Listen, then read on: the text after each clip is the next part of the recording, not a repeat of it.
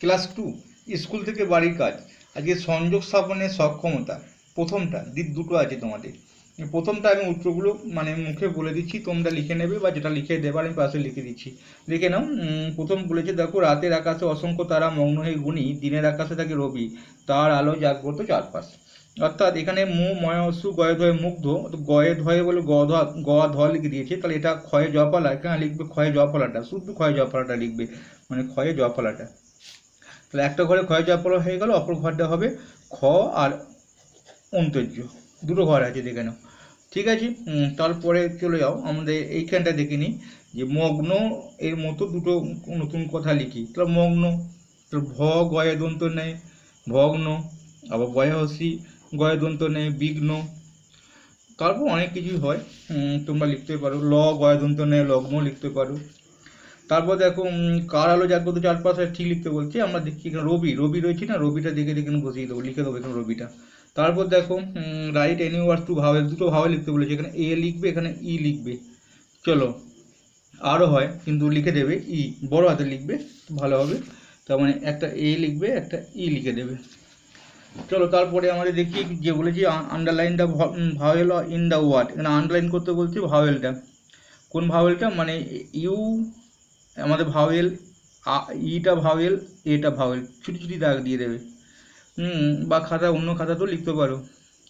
তারপর দেখো underline the consonant যেটা কনসোনেন্ট আছে, বিটা আর কেটা দাগ হবে, দুটো ও ও বাদ যাবে। তারপর ইউজ দ্য ক্যাপিটাল লেটার এখানে সি ইজ মিনু তাহলে এইখানটা লিখবে সি ইজ এই এতটা ঠিক লিখবে দিয়ে এই এমটাকে বড় হাতে দেবে। তার মানে এস এইচ সি ইজ লিখবে, তারপরে M E M I M বড় হাতে লিখবে এম আই এন ইউ চলো তারপরে এখানে লিখতে বলেছি যে, এখানে লিখে দেবো এটা। তারপর which class do you read in কোন ক্লাসগুলো তুমি পড়ো? তো আই ক্লাস মানে ক্লাস ইউ মানে I read in class five I লিখবে, এখানটা এরকম আই লিখবে I read R E A D read in class Bangla আছে, পেয়ে যাবে। ক্লাস ফাইভ ফাইভ বলছি, তোমরা আমি একটু ভুল বললাম। টু লিখবে টি ডাব্লু ও টু আসলে অ্যাক্টিভিটি করে করে এমন অভ্যাস হয়ে গেছে না মানে কোনটা ফাইভ কোনটা সিক্স তখন কি হয়ে যায়। চলো, আমরা দেখে নিচ্ছি তারপরে। কি আছে? হয়ে গেছে এটা। তো এক, দুই সংখ্যা বাঁধতে বলছে। তাহলে এখানে দেখিয়ে দিয়েছি, দুই আর এক এক আর দুই নিয়ে, দুই আর এক নিয়েছে। তুমি কি করবে? দুই আর চার নেবে। এখানে দুই আর চার লিখে দেবে। আবার এখানে কি লিখবে? এক আর চার। অনেকগুলো সংখ্যা হয়। বলছি এটা একই না আলাদা? এখানে আলাদা লিখে দেবে। তারপরে কি করবে? যে চোদ্দ, দশ, এক দশটা চোদ্দ হয়, তাহলে এটা কী হবে? দু দশ, দু তো হয় না, দুই, দশ, তিন বোধ হয় নাকি? তিন, তেইশ, দু দশ, তিন, এই লিখে দেবেন তয় শুধু তিন আর তিন। তো এই দুই টাকা পঞ্চাশ পয়সা, সমান আড়াই টাকা হয়, সবাই জানে। তা বলছে যে এখানে ছ টাকা হবে কি করে? তো তিন টাকা বা চার টাকা লিখবে ছয় একার ও চার, এখানে লিখবে, দয়সু হসই দুই। তো চার টাকা, দুই টাকা নিয়ে ছয় টাকা। আমরা শিখে ফেললাম খুব তাড়াতাড়ি। চেষ্টা করছি যতগুলো সম্ভব তোমাদের ঠিক করে দেওয়ার। এইখানটা দেখো, বলতে দেখো এখানটা কি আছে? পূর্ণ- সংখ্যা কথা সংখ্যা বলে কি তো এখানটা লিখবে দুই লিখে অন্তস্থ লিখে দেবে, দ্বিতীয় হয়ে যেতে পারে, বা তিন লিখে অন্তস্থ দিয়ে দেবে, তৃতীয় হয়ে যেতে পারে, বা পাঁচ লিখে মো দিয়ে দেবে বা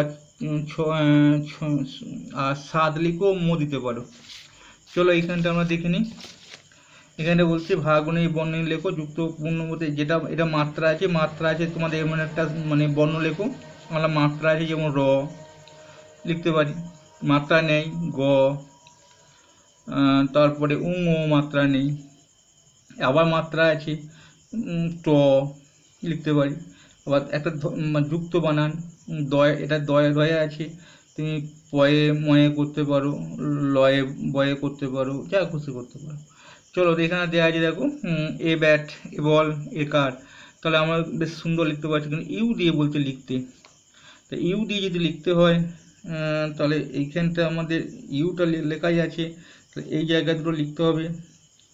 তাহলে এখানে এ দিয়ে মাঝে সব আমাদের যেটা বোঝাচ্ছে যে, দেখো মাঝে এগুলো ছিল, তাহলে ইউ থাকবে এরকম দেখ কিছু।